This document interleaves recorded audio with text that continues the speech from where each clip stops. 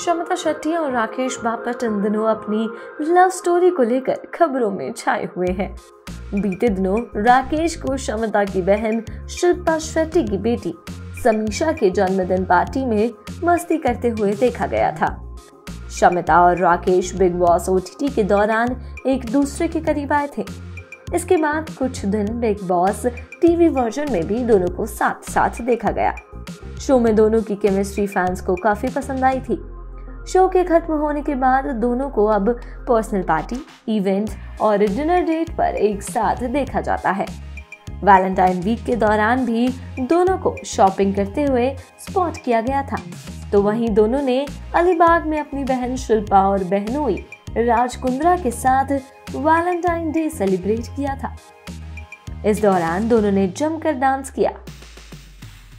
इसके एक वीडियो को शेयर कर शमिता ने राकेश को वैलेंटाइन डे विश किया था। इसके बाद शमिता और राकेश की शादी की अटकलें तेज हो गईं और कई रिपोर्ट में ये दावा किया गया कि शेट्टी परिवार राकेश को अपने घर का दामाद बनाने के लिए तैयार है। इसी के साथ रिपोर्ट से ये भी थी कि राकेश ने शमिता को शादी के लिए प्रपोज किया है। हालिया इंटरव्यू में जब शमिता से सवाल किया गया कि वह राकेश से शादी कब करने वाली हैं तो उन्होंने कहा, इस स्टेज पे कोई भी मेरे को ऐसा बोलेगा तो मैं भाग जाऊँगी। इसी के साथ उन्होंने कहा कि इन सब चीज़ों के लिए अभी बहुत जल्दी होगा। इसी इंटरव्यू में उन्होंने बताया कि इस शो के बाद से उनकी ज़िंदगी पहले जैसी नहीं रही है और वह अब भी नॉर्मल होने की कोशिश कर रही हैं। उनका कहना है कि वह अपनी ज़िंदगी में अभी भी पूरी तरह से वापस नहीं आई हैं।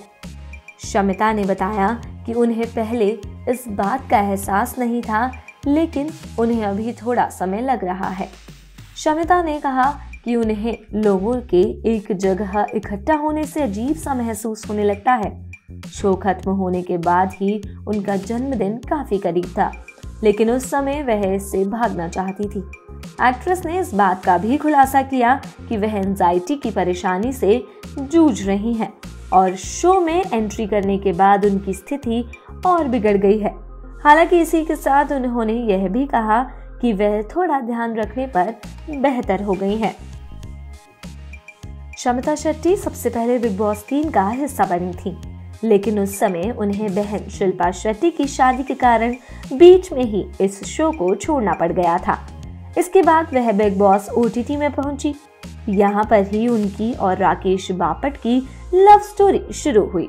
बाद में शमिता शेट्टी बिग बॉस 15 का हिस्सा बनी, लेकिन टॉप में जगह बनाने के बाद उनका सफ़र शो में खत्म हो गया। फिल्मी जगत की लेटेस्ट अपडेट के लिए बने रहे हिंदुस्तान के साथ।